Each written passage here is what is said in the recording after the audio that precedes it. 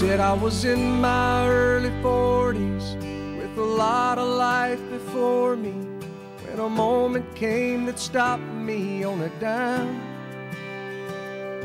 I spent most of the next days looking at the x rays, talking about the options, and talking about sweet time.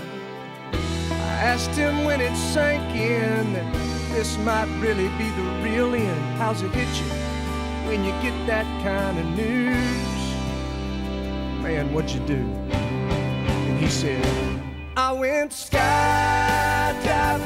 I went Rocky Mountain climbing, I went 2.7 seconds on a bull named Fu Manchu,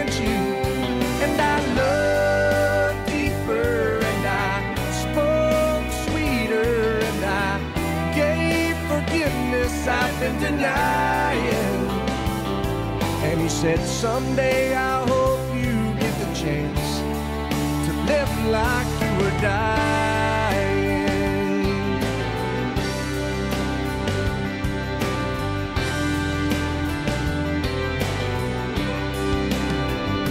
He said I was finally the husband, and most of the time I wasn't. And I became a friend a friend would like to have.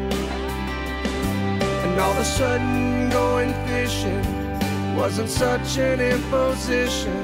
And I went three times that year, I lost my dad.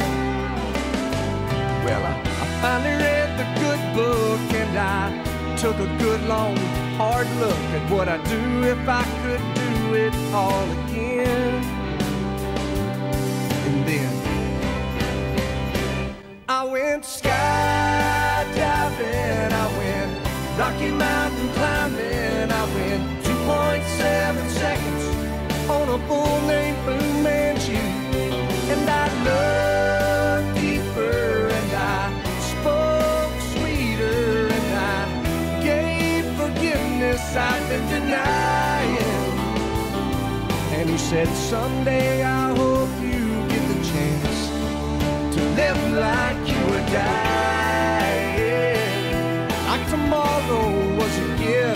Got eternity to think about what you do with it. What did you do with it? What did I do with it?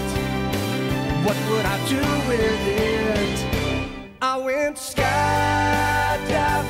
I went Rocky Mountain climbing, I went 2.7 seconds on a bull named Fu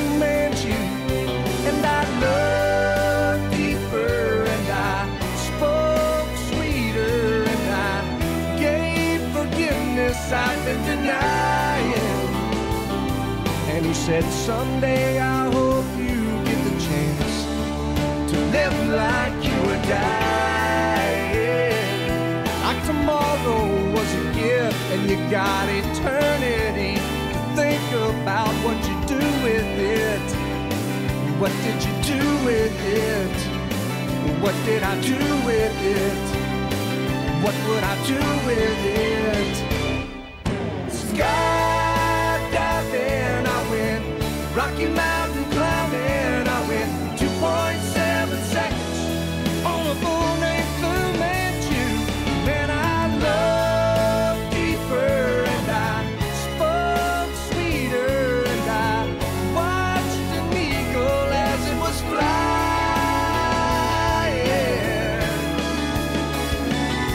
And he said, Someday